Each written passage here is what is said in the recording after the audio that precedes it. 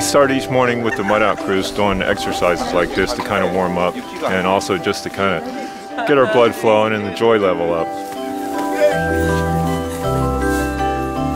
What we're doing is we have two homes here that we're mudding out, which means taking out all the debris, pulling the drywall down, the you know the wet insulation, cleaning it, pulling the nails so that it can be ready for the carpenters to come in and do the, the temporary repairs that Samaritan's Purse does to make the homes livable.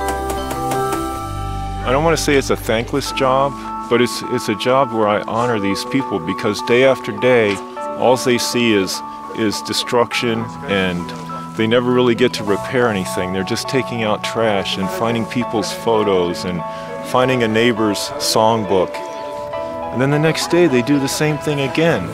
And we're just so thankful that they lay down their lives, they leave their friends, their families, their jobs, their loved ones to come here and volunteer. And if it wasn't for the volunteers out here on a day-to-day basis, this would be totally impossible.